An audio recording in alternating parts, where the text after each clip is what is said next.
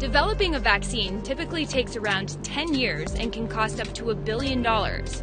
But as the Ebola epidemic ravages West Africa and spreads into the Western world, researchers are rushing to find a cure.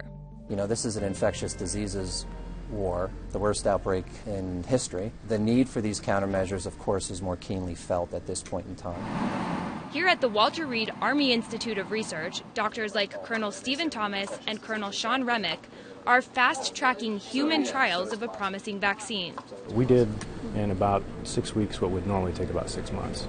So far, the vaccine's animal data has been outstanding, proving to protect 100% of monkeys from Ebola. But unlike mainstream vaccines, there is no Ebola virus in the actual injection.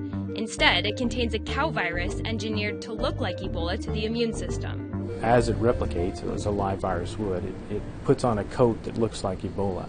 The body says, ah, uh, you look like Ebola, and it mounts a response to it. That response will be remembered, we hope. The biggest challenge for researchers is that they can't determine the vaccine's efficacy by exposing people to Ebola during the trial process.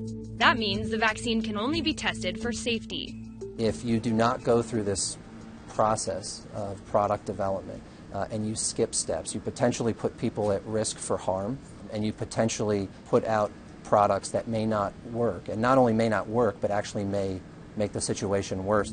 Over the course of the trial, the doses are bumped up and volunteers are monitored for side effects.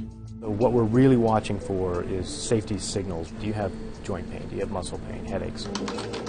So far, the vaccine appears to be safe, and strong preliminary data is expected in December.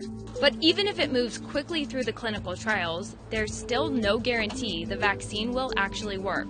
That's the million dollar question, really. Uh, will we have effective vaccines uh, for this particular outbreak? It's, and it's very difficult to tell.